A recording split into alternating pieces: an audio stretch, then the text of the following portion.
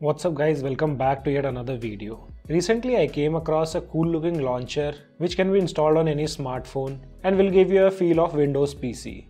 And I thought why not share it with you guys. So without wasting any more time, let's get started.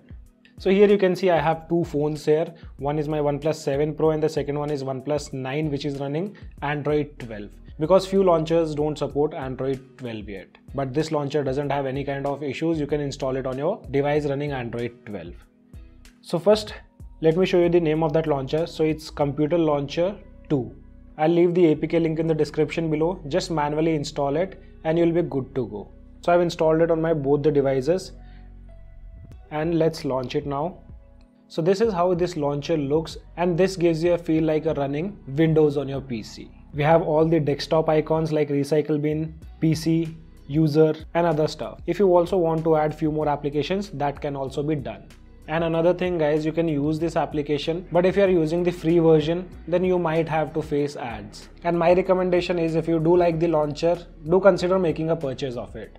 With that way, you can support developer in bringing more features and more stability to the launcher.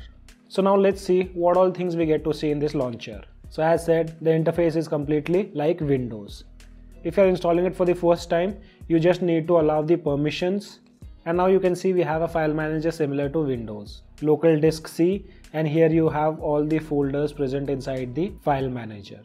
You can directly access to the applications which you have placed on the desktop. We have this Windows Start, tapping on it will open up the app drawer and towards the right hand side if you tap it we have notifications option quick setting tiles. So give the necessary permissions for notification. You'll see all the notifications here at the top side. We have options like you can directly turn off. And from here you can access the shortcuts like network wi-fi bluetooth sounds and battery and another good thing about this launcher you can also apply different themes from here. So we have a theme store in the launcher itself. Tapping on it will open up many themes. Like you have themes of s21 windows 7 windows 10 dark theme miui theme xperia theme and many more. If you want to make a purchase just go to the launcher settings and here you will find an option of remove ads. Tapping on it will redirect you to the Play Store and here you can see the amount which you need to pay is 120 Indian rupees. All the quick setting tiles have no issues at all. Long pressing on the launcher desktop, you'll get options like launcher menu from where you can make changes like theme, lock screen, wallpaper, etc. I've tried many launchers, but I personally like this one because it gives the exact look of a Windows PC. You get the calendar similar to Windows, Going to settings, we have the settings panel also, which is similar to Windows from where you can change the icons, hide taskbar and many other options are available.